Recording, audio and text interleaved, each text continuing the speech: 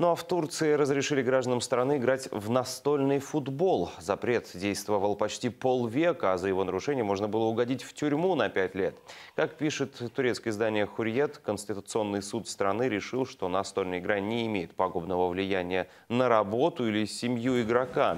Кроме того, она улучшает мозговую деятельность. А вот что касается пинбола и рулетки, то за игру в них по-прежнему можно угодить за решетку.